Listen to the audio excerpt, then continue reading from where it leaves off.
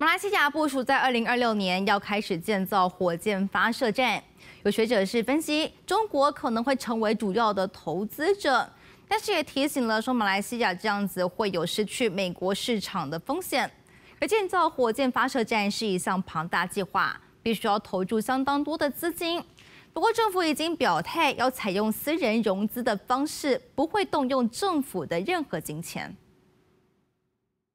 马来西亚希望成为东南亚首个火箭发射基地，计划二零二六年开始建造。也是前宇航工程师的学者蓝中华分析，中国、美国、俄罗斯是最有可能的投资方。中国可能是优势会比较多一点点，但是。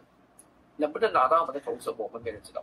美国现有的火箭发射站非常充足且符合需求，像 SpaceX 一年可以发射七十到八十次火箭，因此投资马来西亚的意愿不高。至于俄罗斯，都将资源集中在俄乌战争上，不太可能来马投资。中国近年积极布局商业火箭发射站，但仍需要看马来西亚的游说状况。学者提醒，若马来西亚招揽中国投资，将有失去美国市场的风险。美国是不允许它的火。的卫星或者是呃太空产品装在中国的火箭上。马来西亚若想要在二零二六年建造火箭发射站，还需要从长计议。I think 2026 is too fast and too um, optimistic. Need to do a feasibility study uh, related to the environment impact, the regulation, uh, the political issue, because uh, somehow uh, Malaysia is very close with their neighborhood. We need to, you know, uh, taking into consideration the international regulation, the the sea um, border, the air or space border, we also need to consider the safety issue.